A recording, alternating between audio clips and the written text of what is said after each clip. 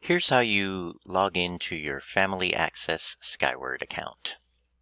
First, go to csd49.org to get to the district website. Once you're at the website, uh, you need to click on Skyward. But if you don't have your Family Access username and password, first you're going to need to get that by emailing your school's administrative assistant. If you're not sure who that is, you can click on Schools, go to your child's school. And if you have children in more than one school, just uh, pick one. Your family access information will be the same. Once you're at the school website, look for the school staff link. Once that comes up and you're at the staff directory, you can just click submit because that'll bring up a list of all the staff in that building. Then you're looking for admin assistant. In this case, you can go to Connie Barrows and click on email to get her email or to launch your email program. Once you have your username and password, at the very top of the district website on any page, you need to click on the Skyward link.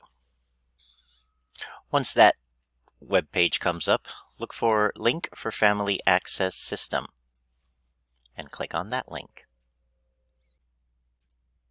Once the Skyward page loads up, put in the uh, username and the password that you got from the office and sign in. If you get a message saying that a pop-up uh, window has been blocked, just click on retry and make sure you allow pop-ups from your pop-up blocker. Once you are in, you will see uh, your child's school and information from that school. My daughter's in the high school, so I get the bulletin and message from uh, the high school principal. You can then use the menus here to get any information you want. Uh, if you go to the calendar, you'll notice that the end of the third quarter was moved up to the last day we actually had students in school, which was March 16.